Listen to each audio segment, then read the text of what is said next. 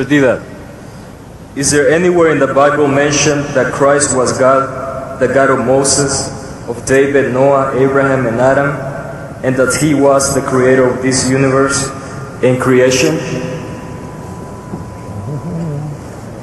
No, there is no such thing.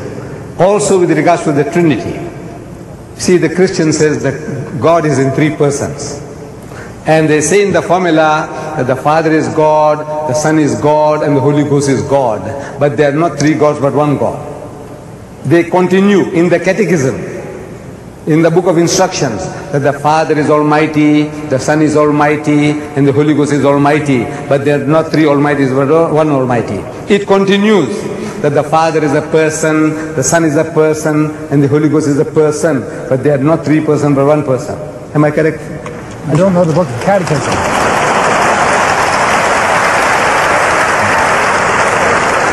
I am asking the Christian, the Westerner, who speaks English, you said person, person, person, but not three person, but one person. I said, I want to know what language are you talking? Is that English? I'm asking, is that English?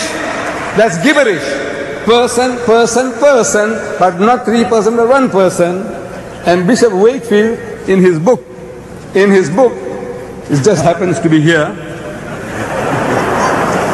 he, he's written about the doctrine of the Trinity, the attributes of God, Trinity, the triune God. And at the end of his essay on the Trinity, Bishop says, he says, yet there are not three gods, but only one, one God only, as seen in the previous section.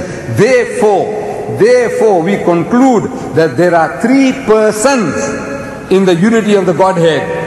And the support is 1 John 5 7. 1 John Yes. 5 7. One second, one second.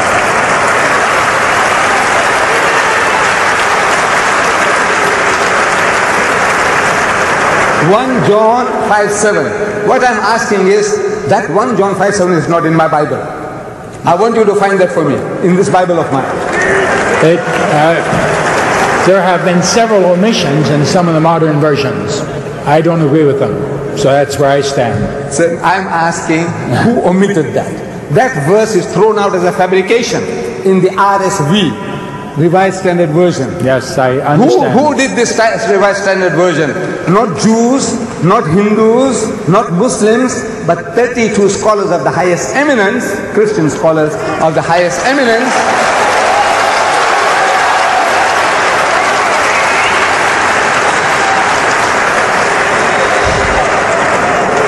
Thirty-two scholars of the highest eminence, backed by fifty cooperating denominations of Christianity.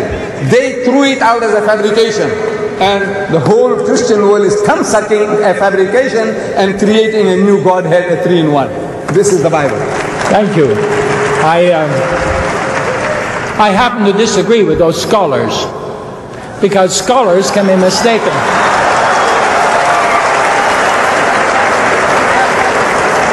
And sometimes, sometimes in the defense of truth, of course, my whole truth wasn't hung on that one verse. I just used that at one end there. Brother D, that, that was written 47 years ago, by the way.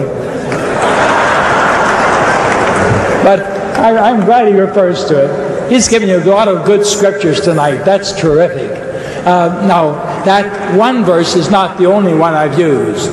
But I will say this, and I say this respectfully, that because a man claims to be a Christian scholar or become from a mainline Christian denomination does not mean that he is a committed Christian any more than a person who says, Well, I'm Islam and doesn't practice. Thank you. Ladies and gentlemen,